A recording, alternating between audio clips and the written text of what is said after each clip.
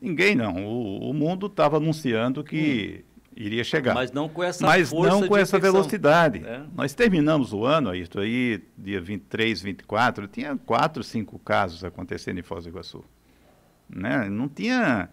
Nós estávamos fechando leitos, uh, número de casos baixíssimo, baixíssimo. Praticamente não tinha mais transmissão.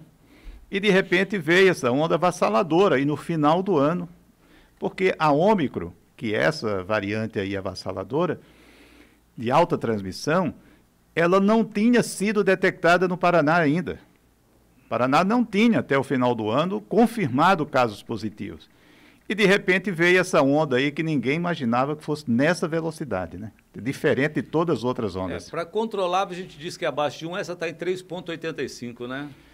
É, é a, a, taxa de transmissão está altíssima, pelo altíssima. número de casos, né? É, pelo número de casos. E quanto mais casos, mais internações, quanto mais internações, mais efeitos adversos, perigos de sequela. Aliás, eu disse que sexta-feira nós tínhamos 11, terminamos ontem com 27 internados em UTI, né?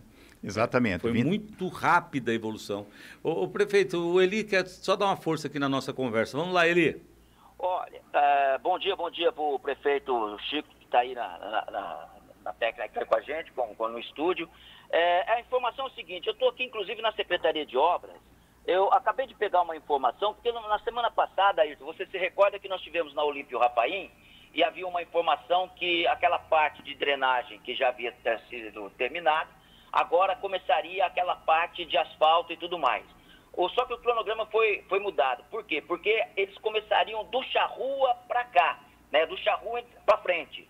Só que aí, como ali já foi feito um trabalho de asfalto, quando teve o desvio para a construção do viaduto, o asfalto ali ainda está bom. Então eles vão começar lá da Edisa, do outro lado, para começar a trabalhar. Começa a partir de hoje, agora pela manhã. Inclusive depois nós vamos passar lá com a unidade móvel, fazer umas fotos para colocar no site da Rádio Cultura. Então, o trabalho começa a partir de hoje, o trabalho de recap, o trabalho. Porque ali aquele local está muito ruim. Aquele local ali é difícil acesso, é, caminhões que passam ali toda hora, carros menores, uma dificuldade muito grande. Então, eles resolveram, foi só mudar essa questão. O secretário é, de obras não, não, não, está aqui ainda, não vem. É, eu tive uma informação que o secretário de obras está gripado, não é Covid, não, é gripe, tá? está gripado e não ia vir, não vem hoje. E aí é, nós pegamos a informação com o pessoal de obras aqui e eles confirmaram para a gente o início das obras. Então, do outro lado, lá da Edisa para cá, o trabalho começa a partir de hoje, tá bom? Ok, então, prefeito, é, dá para terminar desse ano essa obra aí? O contrato, o contrato são nove meses, vai terminar sim. O que é que ocorreu aí? Aí as pessoas já espalham que a obra está parada. Não, a obra é extensa. Hum. E foi feito caixa, as caixas de drenagem. A segunda fase agora, eles tiveram que fazer uma sondagem exatamente para poder colocar aquelas pedras grandes embaixo. Que tipo de pedra tem que colocar, tudo. Então, foi parado uns dias para esse estudo e agora as equipes vão dar continuidade. Ali é uma obra complicada, porque todo mundo sabe que ali tem muita água debaixo da terra, né? Então tem que ter um bom reforço, uma boa estrutura para não fazer asfalto e depois estar tá afundando. E aquela obra ali já foi também, né, base para muita discussão, inclusive judicial e tudo mais, né? É. E, e, é um local extremamente importante até para os empresários de exportação que estão naquela área, né, transportadoras. Eu diria que hoje é, é uma das áreas mais importantes de Foz do Iguaçu pelo corredor logístico que nós temos aqui, uhum. ali. Então, aquela, ali vai ligar toda a região nordeste ali até a Transli. Então, você veja que vai fazer um grande corredor ali que vai tirar esse fluxo da BR, vai tirar esse fluxo de dentro de Três Lagoas Inclusive, quem vem do alto da Boa Vista vai sair pelo Jardim Jaqueline e vai pegar já essa marginal da BR, tirando aquele fluxo de dentro de Três Lagoas. Tem previsão ali de uma travessia ali na região de Três Lagoas, porque senão vai ser um gargalo também ali, né? É, Naquele é... acesso da, da Marã ali. Isso aí está com o DR. Nós fizemos essa ah. solicitação ao DR, não posso te responder porque não depende da prefeitura. Então, certo. Prefeito, é, com relação a rodovia das Cataratas, eu conversei agora há pouco com o ex-secretário Guto Silva. Ele falou que está andando. Eu falei, mas aqui a gente ouve falar pouco. Qual é a informação que a prefeitura tem sobre a rodovia das Cataratas? Que o processo licitatório está praticamente pronto. Houve alterações de valores, que você sabe que hum. tudo subiu, né? É, a Itaipu garantiu os recursos, isso é o mais importante. Não existe essa falta de recursos para fazer a obra. O processo licitatório, o projeto aprovado antes, teve que ser feito alguns ajustes no projeto, porque ele teria que ser aprovado pelo DR. Esse projeto foi aprovado e deve ir para a licitação aí no primeiro trimestre agora de, de 2022. E esse gargalo aqui do Charrua? Esse, esse é para o teu governo ainda? Esse aí é um projeto que está sendo concluído para a gente encaminhar o DR. O governador nos garantiu que o governo do estado irá bancar essa obra. Então, concluído o projeto, essa é a grande dificuldade. Projeto, gente. Qual é o grande problema das obras aí? É, às vezes é problemas no projeto. Então, os projetos têm que ser bem avaliados, reavaliados ele tem que ser aprovado aqui, tem que ser aprovado depois pelo órgão que vai executar. Por isso que tem essa demora nos projetos. Mas o projeto concluído vai para a licitação. Que aí nós vamos entender a importância da José Maria de Brito e da Rainieri Mazilli, né?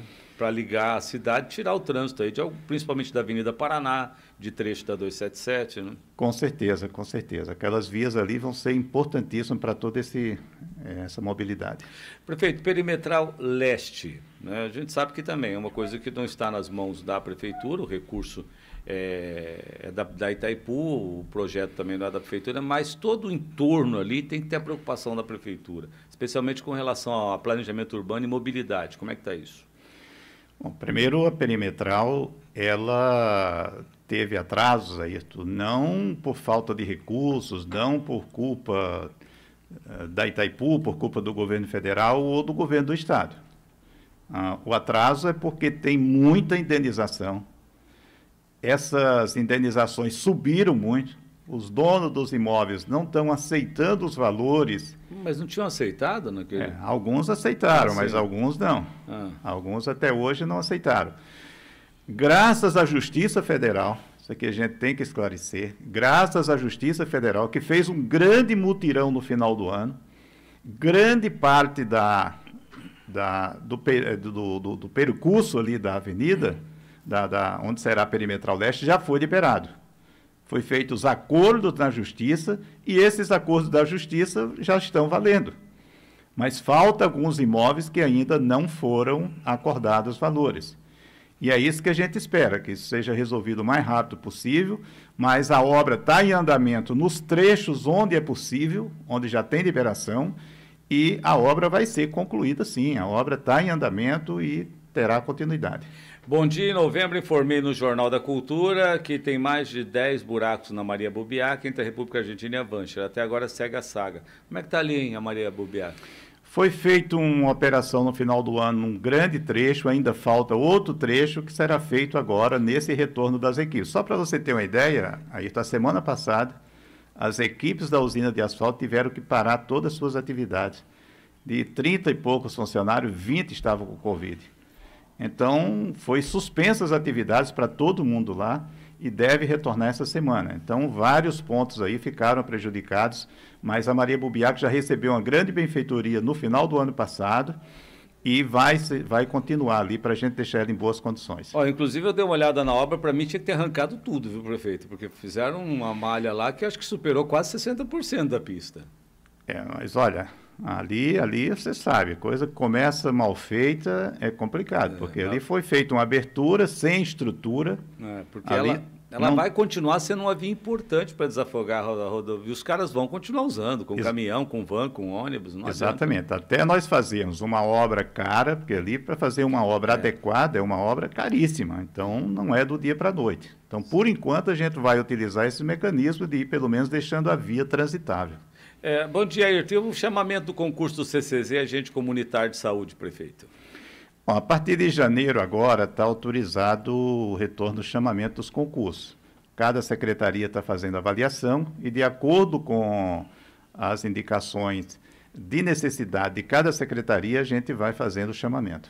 E o, a Guarda Municipal?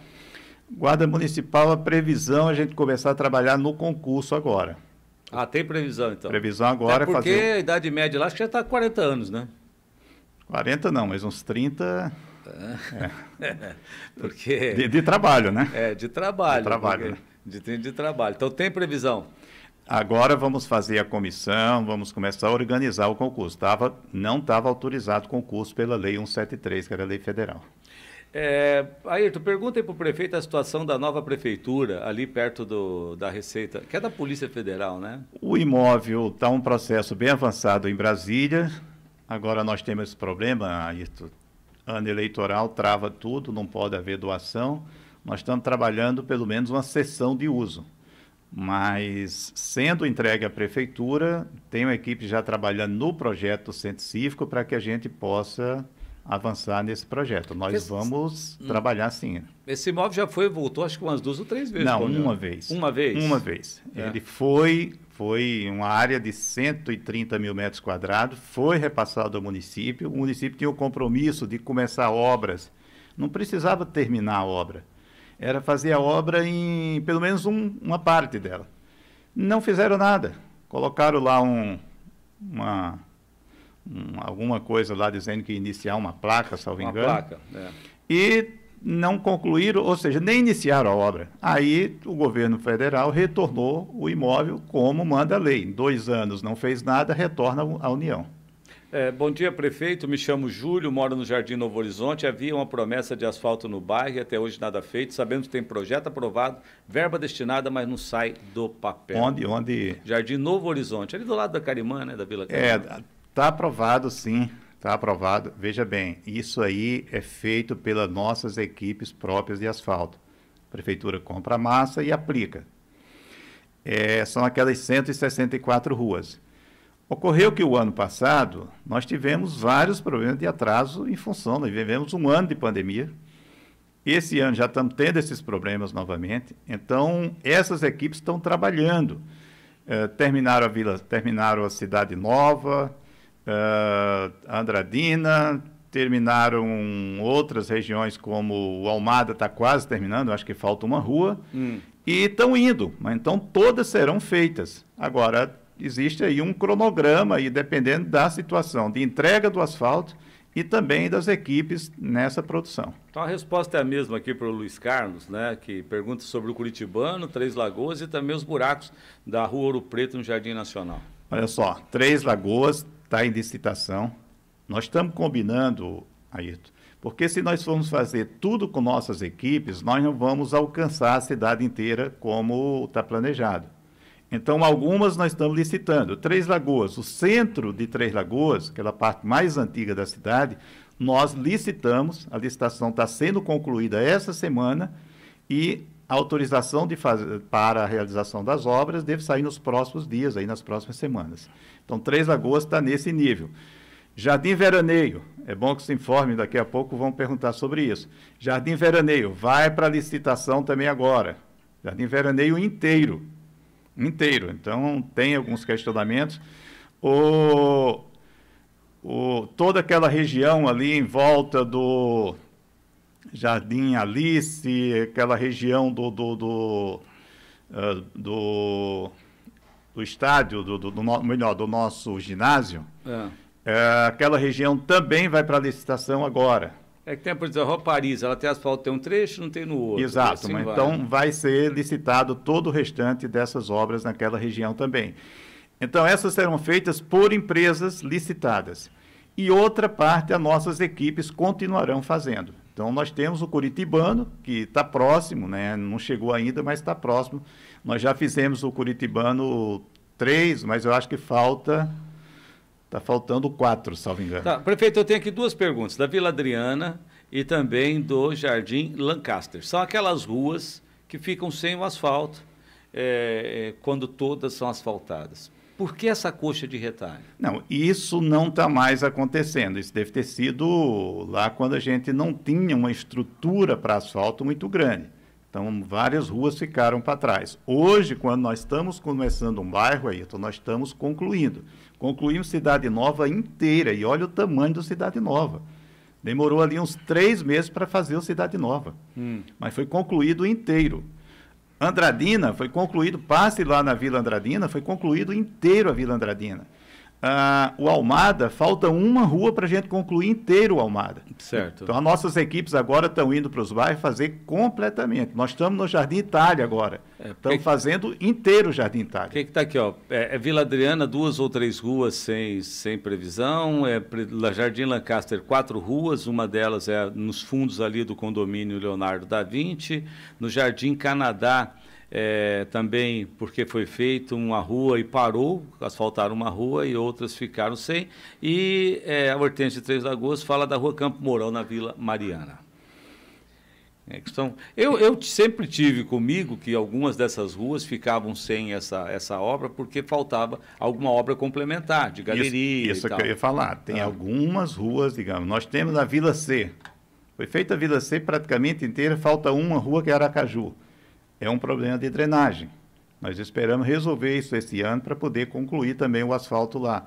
Então, tem algumas situações específicas que a gente precisa realmente é, fazer esse estudo de drenagem para que a obra não tenha um transtorno depois. É, eu acho interessante o seguinte, né? O prefeito tem que estar pronto para saber de tudo e responder tudo. Até tem outra pergunta que é interessante.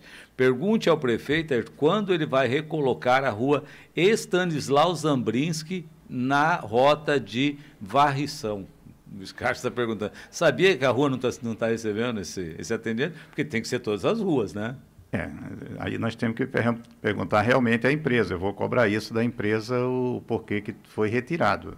É, a rua Stanislau Zambrinski, né? Aqui ela corrigiu, é Rua Campo Mourão, na Vila Miranda. Prefeito, e as ciclovias? Tem que parar de fazer ciclofaixa e fazer ciclovias, escreve aqui o ouvinte. A ciclovia, é, esse é o projeto nosso também. Nós estamos trabalhando agora no projeto da ciclovia. A Itaipu vai fazer até o viaduto. E a prefeitura vai fazer do viaduto até o terminal. Hum. Ou seja, a gente quer dar esse, fazer esse grande corredor é, norte da cidade até o centro da cidade, todo ciclovia. Agora, a Avenida JK, ela tem uma estrutura para fazer ciclovia. Tem, adequadíssimo, inclusive. Agora, tem outras avenidas que não têm estrutura para fazer ciclovia, tem que ser ciclofaixa. Hum. Então, tem esse problema também. Isso não foi planejado lá atrás, então nós temos essa dificuldade. Tá, é... Ayrton, bom dia. O prefeito me conhece, faz quatro anos que vem perguntando a, a respeito do asfalto Jardim Tarobá. Ele me conhece nos programas de sábado, de tanto perguntar. A mesma situação, Jardim Tarobá está naquelas ruas previstas, nas 164 ruas que foram licitadas. Agora, gente, é, é uma equipe de 30, 30 e poucas pessoas que estão trabalhando na cidade inteira. Nós hum. não vamos conseguir fazer isso em um ano. É um trabalho que vai tempo pela frente. Tá certo, então. Vamos lá. Depois eu tenho aqui. É... Bom dia, Ayrton. Tá, bom dia, Ayrton é, o João Alberto do Morumbi avisa o prefeito que o asfalto feito está se desmanchando. E aí? Olha, tem que ver onde, qual foi o asfalto que foi feito, que tipo de asfalto, se foi feito só um, apenas um, um nivelamento da rua ou se foi feito a aplicação das camadas, é, a segunda camada. Então nós temos que levantar tudo isso. Tem que ver qual que é a rua que nós mandamos a equipe lá para investigar. A Angélica está indignada aqui, diz que senhor esteve no Jardim Curitibano em dezembro de 2020. Na rua dela, prometeu asfalto em um mês e até hoje nada. Olha, no Curitibano, no Curitibano está previsto. É, é, é, essa situação, Ayrton. Hum. Olha, as equipes estavam trabalhando, depois a Secretaria de Obras achou por bem reformular todo esse programa de não estar tá fazendo ruas pontuais e sim o bairro inteiro. Então, o Curitibano deve ser toda a região do Curitibano ali que está faltando. Está tá faltando uma região. Só que do outro lado do Curitibano 3 foi feito inteiro. É. é isso que as pessoas têm que entender. É, Se é foi feito do Curitibano 3, vai ser feito no 4. Hum. Então, não fique nesse desespero até porque ninguém está morrendo por isso. Então não fique nesse desespero, porque vai sair. Vai sair. Jardim Belvedere está de parabéns, todo asfaltado. E aqui está dizendo assim: o prefeito está bronzeado. Não, acho que não é que o prefeito está bronzeado, é luz, falta luz ali. Pois é. Tá, né? A iluminação que não está ajudando, né? Mas em todo caso está aí, diz que o prefeito está bronzeado. Eu queria estar tá bronzeado. É, tá certo. Pergunta para o prefeito, ok, o teu assunto aqui, se a gente for, né? É, o assunto de asfalto aqui, agora a pergunta é da rua Campo Mourão, não entra caminhão de lixo, o bueiro está caindo né? Vamos só reforçar é, eu vou para porque eu quero partir para um outro assunto que eu na, no programa de televisão eu recebi uma resposta que me, me amarrou, né? Até o último dia da atual gestão, todas as ruas estão asfaltadas. Eu falei, Esse é o planejamento, nós estamos não trabalhando. Tenho, não tem nem como cobrar mais, né? Aí, só, se não asfaltar, vou cobrar o Papa depois, que o prefeito não tem mais reeleição, né? Acabou aí. Mas, em todo caso, é nesse ponto, eu preciso aqui é, dizer aquilo que eu tenho é, vivido no dia a dia. Eu entendo a indignação de algumas pessoas, mas é uma relação que você não vai resolver um problema que você espera há 20 anos em um ano ou dois, né? Então, é muita coisa para fazer, são muitas ruas para atender, e o compromisso é até o final da atual gestão, todas as ruas estarão asfaltadas. É, aqui é, por exemplo, Alameda Bra Praga, no Jardim Alice, quando vai ser o asfalto por aqui? É aquela história, né? Então, se a gente for ficar no asfalto aqui, abre, avise o prefeito que está abrindo buraco na cabeceira da ponte sobre o rio, na Avenida João Paulo II. Esse daqui é importante falar claro, sobre isso, claro, né? Claro, isso aí. Que é próxima aí. rodoviária e isso é um risco, porque está abrindo ali, a tua equipe tem que ir lá dar uma olhada, Com né? Com certeza, isso aí vou pedir para a equipe, sim. É dar uma olhada na cabeceira de João Paulo II. Aliás, você pode fazer essas denúncias também pelo aplicativo 156. Gente, eu vou para um rápido intervalo eu quero voltar depois, o prefeito tem mais 15 minutos para ficar com a gente aqui. Eu quero voltar falando sobre esse momento atual que nós estamos vivendo. E eu disse, vou